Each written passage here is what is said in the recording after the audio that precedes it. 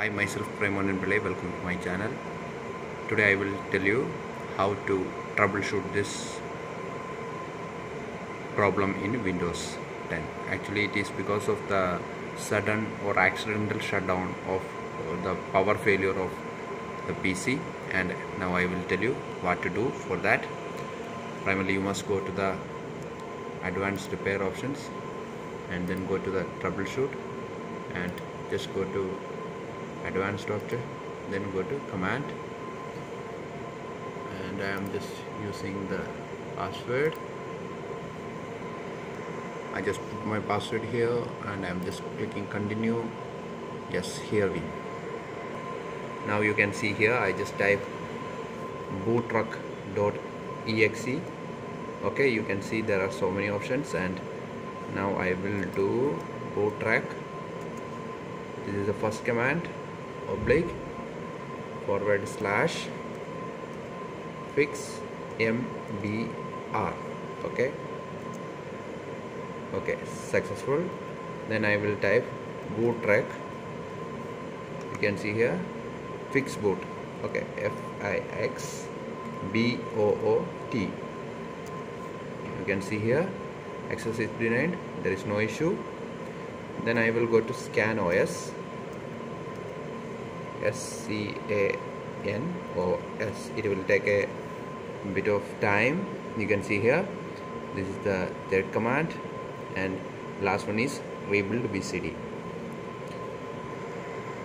okay it's done. Then I will type re VOLD BCD okay.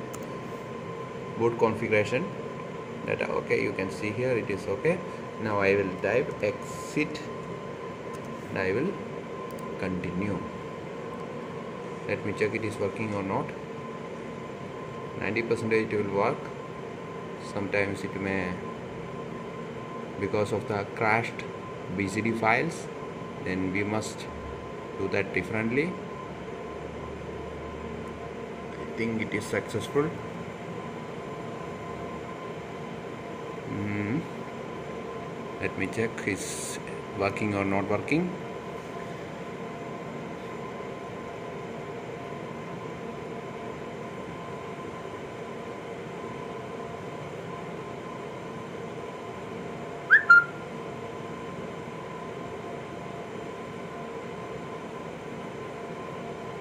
I think it is successful because yes yes it's successful. Thank you. Thank you very much for watching. Please subscribe my channel and press bell icon for latest information technology related videos. Yes here comes my windows it's working. I made this video continuously because sometimes someone will think that it is just a trick or prank. I am just doing a full video oh sorry. I just make an error with my password? Yes. Here we go. Thank you very much. Please subscribe my channel and press bell icon for latest information technology related videos